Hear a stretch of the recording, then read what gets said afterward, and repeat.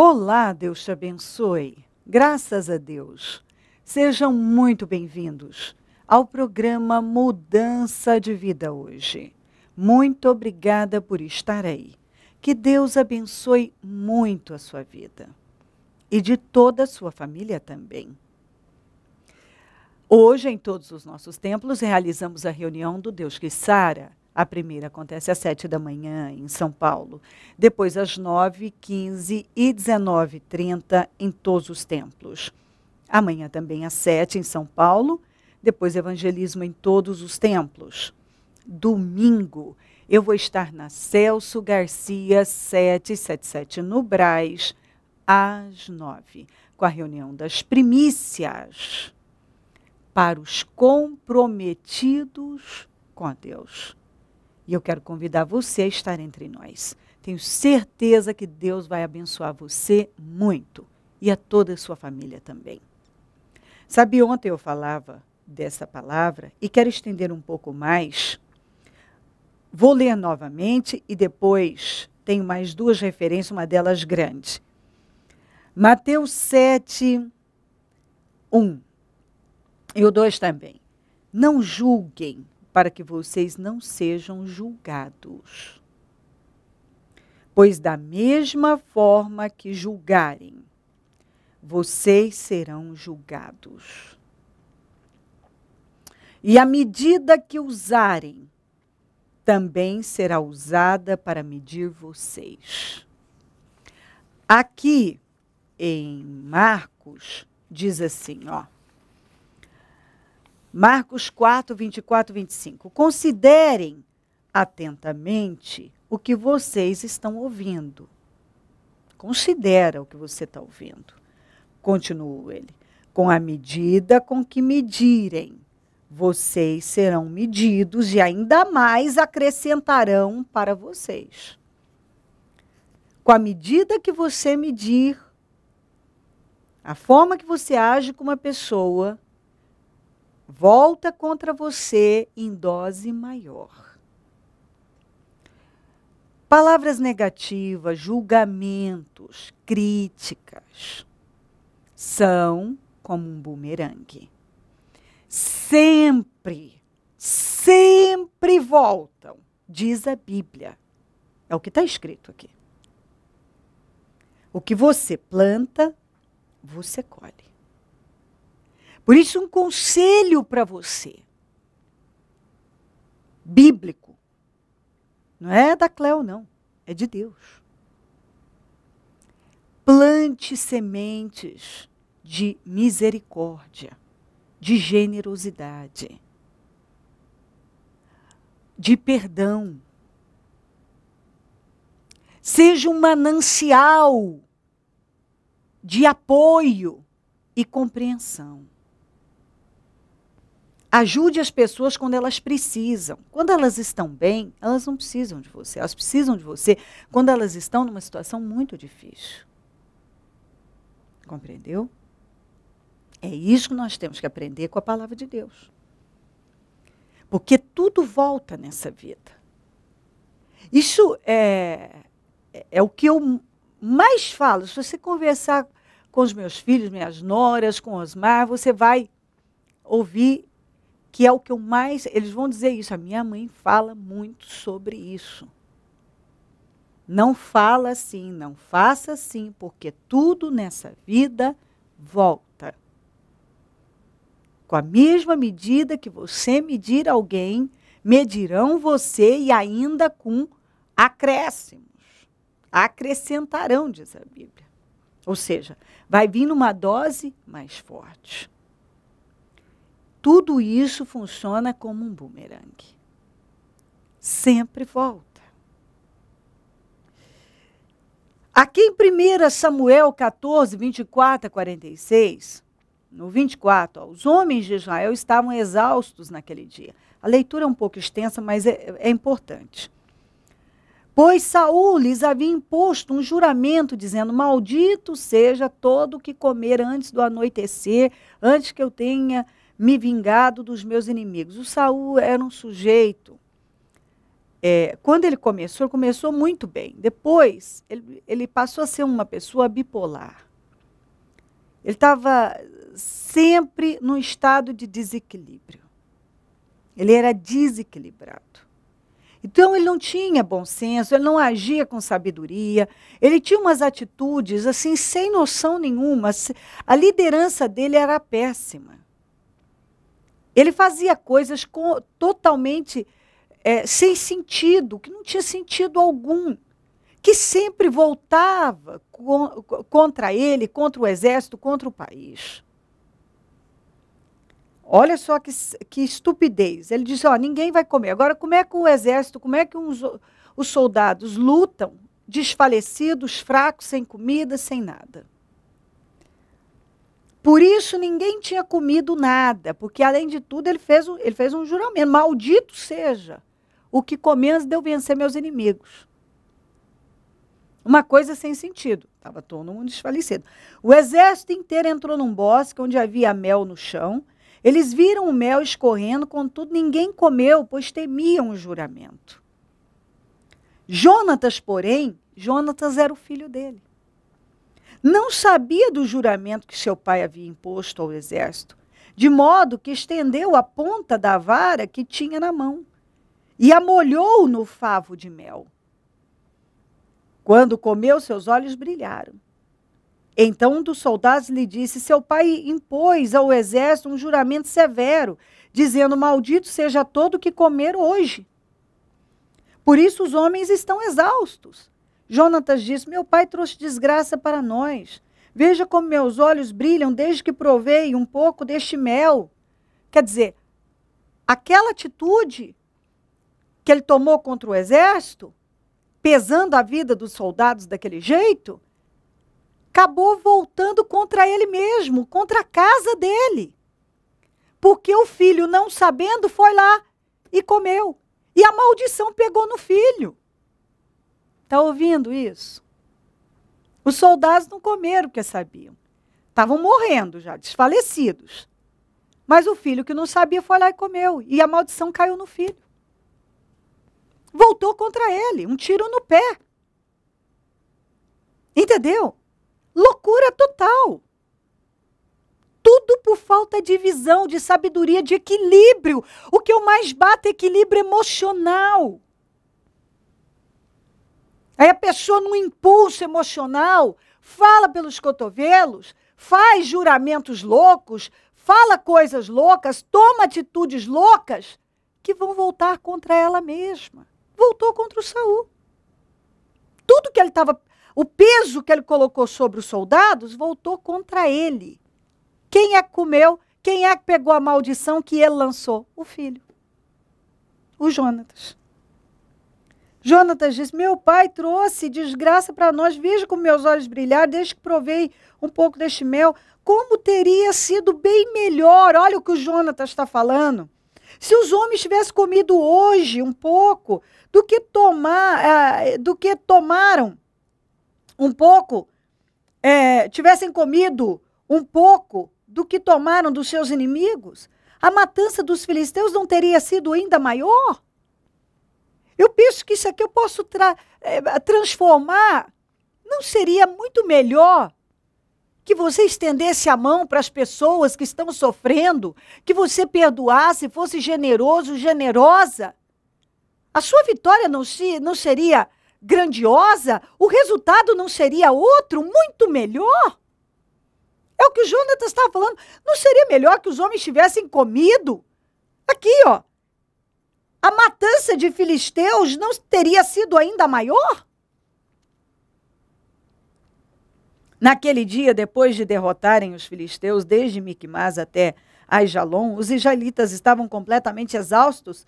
Eles então se lançaram sobre os despojos e pegaram ovelhas, pois os uh, bois e bezerros mataram-nos ali mesmo e comeram a carne com sangue. Olha a loucura que o, o, o, o Saul trouxe para todo mundo.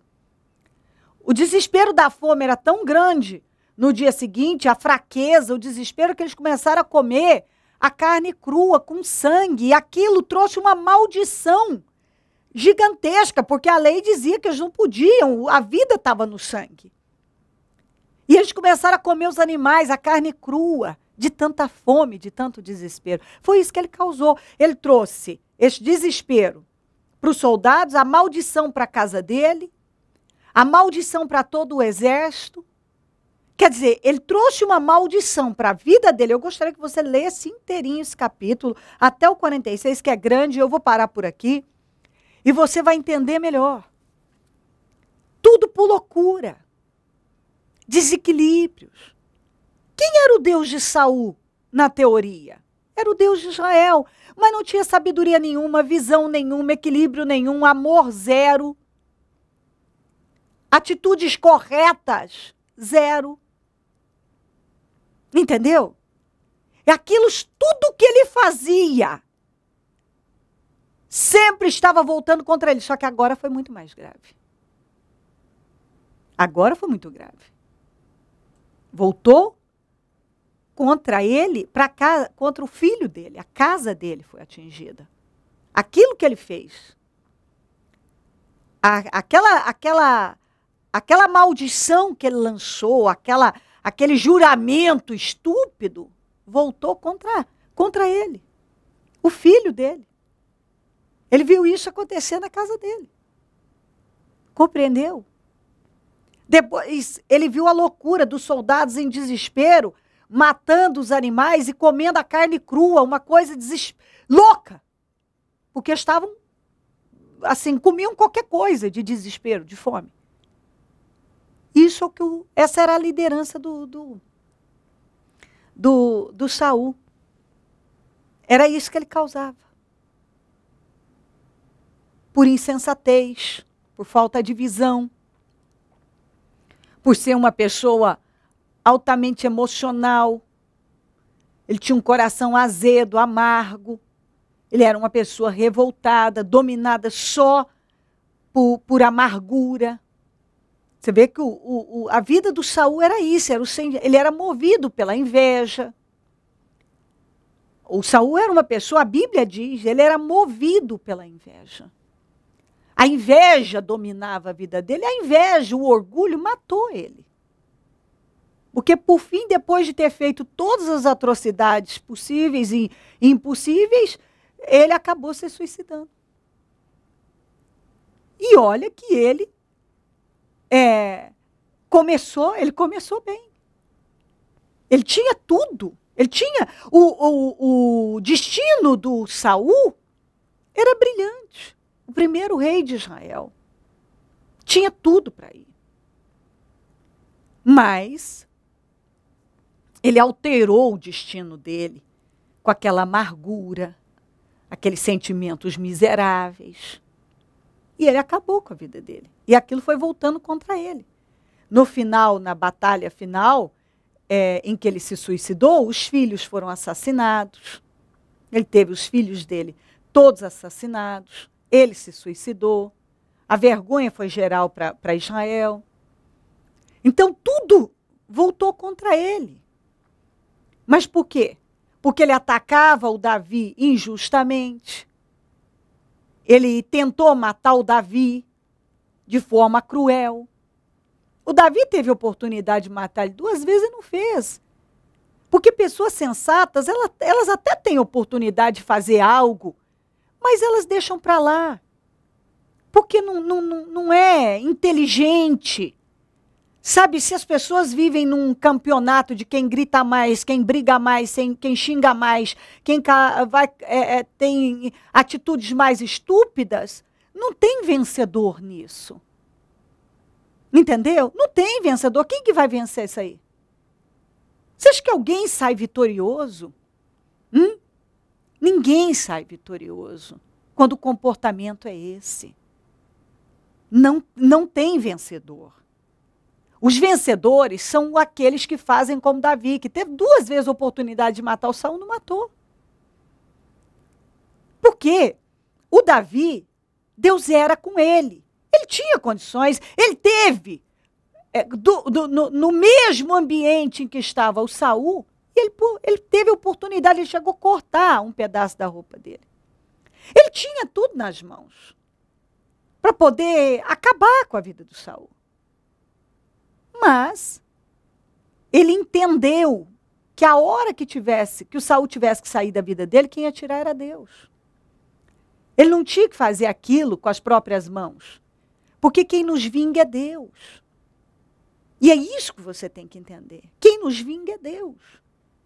Então, algumas pessoas elas querem resolver as coisas na força do braço, do, na ameaça, na, na gritaria, na, na, na, na zombaria, na agressividade. Ninguém. Quem entra, quem pega esse espírito, já deve saber: não tem vencedor. Não tem. O vencedor é aquele que se cala e espera em Deus. É aquele que, que espera pela ação de Deus. Espera por Deus, porque não tem juiz mais severo do que o tempo. Não existe juiz mais severo do que o tempo. O tempo, ele, ele, ele, quando as pessoas esperam por Deus e dá tempo ao tempo, as coisas acontecem como elas têm que acontecer, vindas da parte de Deus da parte de Deus, sem você ter que colocar a mão em nada. Entendeu? Em nada. E é isso que você tem que aprender. Quem no, nos vinga é Deus, quem nos defende é Deus. Por isso que você tem que aprender a deixar tudo na mão de Deus. Você deve buscar agir com sabedoria e temor, para que as bênçãos do Senhor sejam sempre derramadas sobre a sua vida. Porque você precisa é, é, de ter Deus como seu defensor. Se Deus for o seu defensor, você nunca vai perder uma batalha.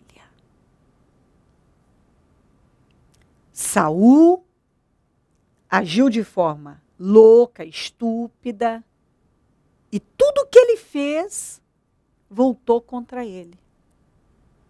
Contra ele. Foi como o que eu estou dizendo, como um bumerangue, voltou contra ele atingiu a casa dele. Ele não teve retorno positivo nenhum daquelas loucuras, só perdas e fracassos. Sensatez. A Bíblia fala em provérbios demais, seja sensato. Eu gosto de lembrar do, daquele versículo que diz: a sabedoria está clamando até nas encruzilhadas. Sabedoria é fazer boas escolhas. Ouça Deus. O caminho da vitória é temer a Deus, praticar o amor, semear sementes de bondade generosidade, compreensão. Não é julgar, atacar, brigar, espernear, julgar. Não é nada disso. Julgar as pessoas pelo momento que elas estão vivendo. Explorar a derrota delas. É, é, é, pesar a vida delas. Não é assim. Porque isso volta. Palavras negativas, julgamentos, mentiras, calúnias críticas são como um bumerangue. Sempre voltam. Sempre voltam. Ontem eu ainda falava sobre isso. De pessoas que eram é, tão severas em determinadas situações, especialmente na área conjugal, e que viveram coisas muito duras dentro das suas próprias casas, dos seus lares. A partir dali, mudaram seus discursos. Porque quando as coisas acontecem com a gente, a sua visão muda. É fácil a gente apontar o dedo, criticar alguém quando não está acontecendo com você, nem na sua casa. Mas se passar a acontecer com você ou com um filho seu, com alguém, com um neto, o seu discurso muda.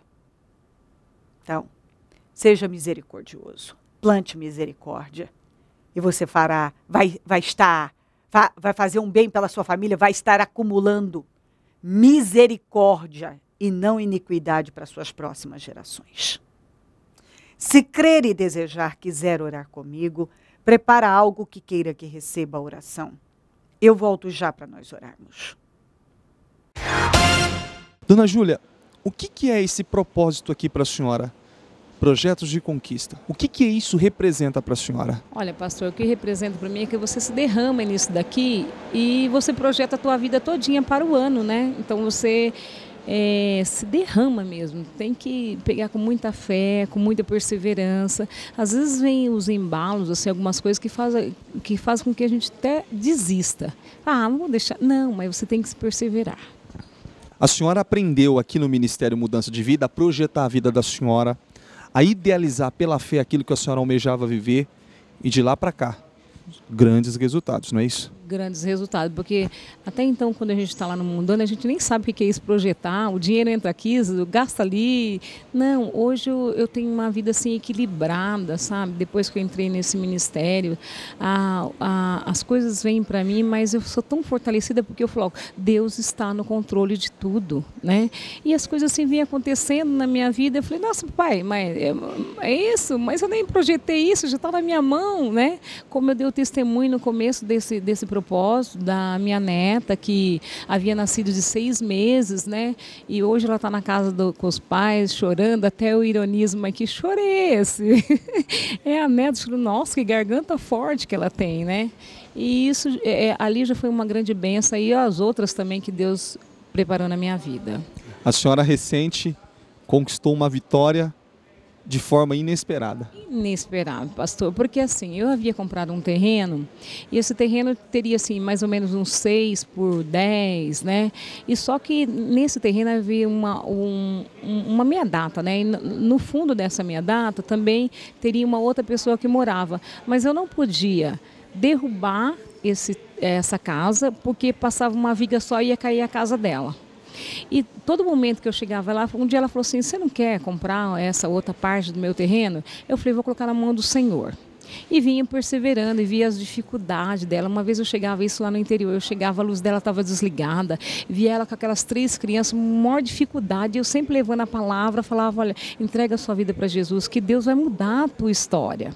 Né? E ela fala, sempre falava para mim, Júlia, mas eu me arrepio toda hora que você fala isso. Mas isso todos os momentos eu levava o, o jornal da igreja para ela, falei, leia aqui os testemunhos, vê aqui como que é, porque um dia se eu sentar e falar da minha vida para você, que quando eu cheguei nesse ministério, o almoço era, o miojo era o meu almoço e janta no outro dia, o dia que eu fui lá no, no Bom Prato, que era um real e eu só tinha 90 centavos para comer, isso era uma coisa muito humilhante, né?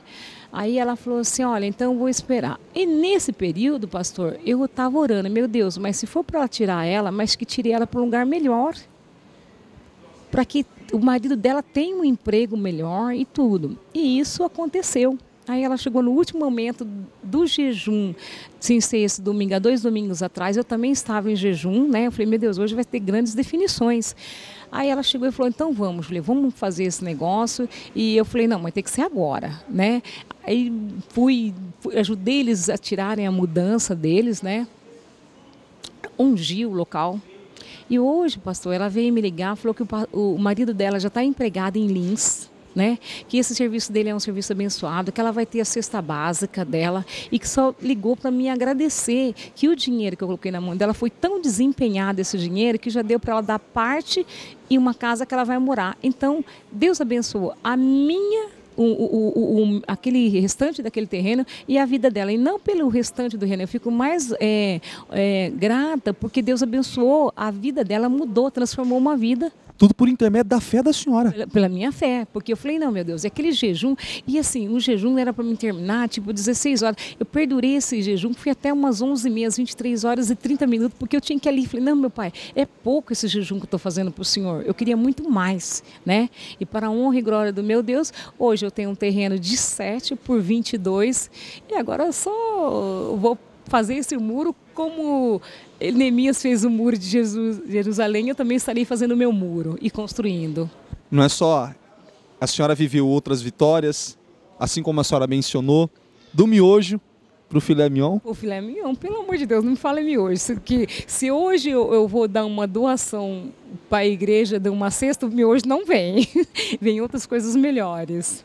Feliz. Feliz e muito abençoada, pastor. Deus abençoou profissionalmente, nos negócios, família, a mãe abençoada, restaurou a casa da mãe, Deus honrou com um carro importado, que fica toda chique nesse carro. Então, pastor, às vezes eu passo assim, e, e, mesmo com as minhas vendas lá, as pessoas falam assim: ah, mas você não precisa, porque você tem esse carro importado, tudo, né? Então agora eu já deixei o carro mais simplesinho lá para mim fazer os negócios e trouxe o outro para ficar para cá, para São Paulo mesmo, né? Eu falei: é, mas vocês não vê que é debaixo de sol quente, que eu vivo para cima e para baixo. Quando eu estou lá assim próximo, que eu faço de tudo para ir lá em Presidente Prudente, que é a, sede de lá, né, da, da igreja. Então, isso é, é fortalecer muito. E esse ministério me trouxe tudo isso, sabe? É, me fortalece. Eu não falo que às vezes o cansaço não vem, porque é uma distância de 520 quilômetros para você ir, 520 quilômetros para você voltar. É, é, atrás dos fregueses para receber, é atrás dos fregueses para é, para vender. É meu filho, mãe, ah, a situação é essa, a situação é aquela. Chego na casa da minha mãe também, minha mãe agora é, recente estava na UTI, agora foi para quarto. E, e, e você perseverar. Então, como a bispa fala, é perseverando. É importante que toda essa estrutura que a senhora tem dado para a família da senhora, espiritualmente, em todos os apoios que a senhora tem apoiado os familiares, tudo é por intermédio da direção e da prática daquilo que a senhora tem recebido.